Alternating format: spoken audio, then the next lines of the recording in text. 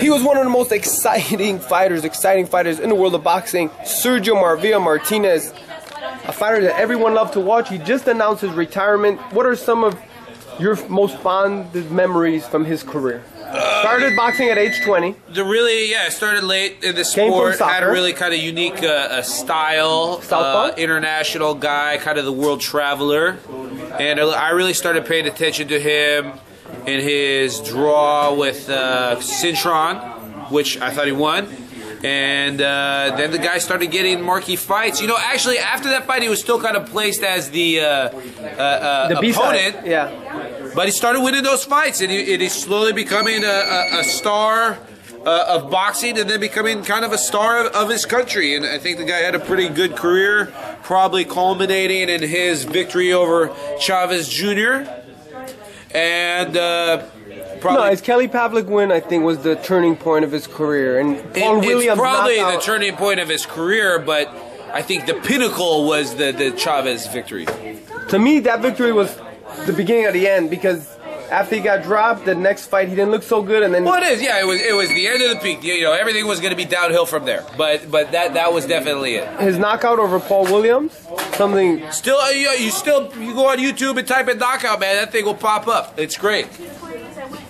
What do you think about him announcing his retirement? Right decision, right choice, came at right time. Yeah, I think the guy made tons of money, tons of fame. Uh, uh, you know, can he can he hold on to one of those things at least? Hopefully, the money. And uh, uh, here's the thing with boxing.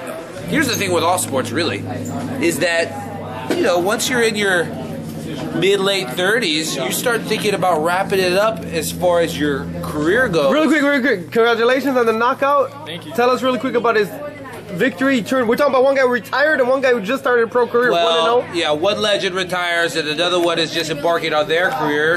And yeah, Magic Jesse Martinez Magic. won on the 30th with a, a third round knockout. How was it? It was good, man. It was Good experience. Do you have a video of it? Uh, very short clip on my Facebook and Instagram.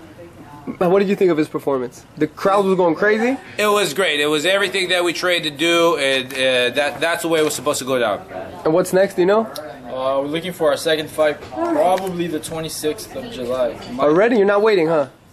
No, we could even have fought last Saturday, but his hand is hurting, so we're gonna fight Glendale Auditorium. What was the date? For July 26th. July 26th, Glendale, yeah. yeah. Glendale?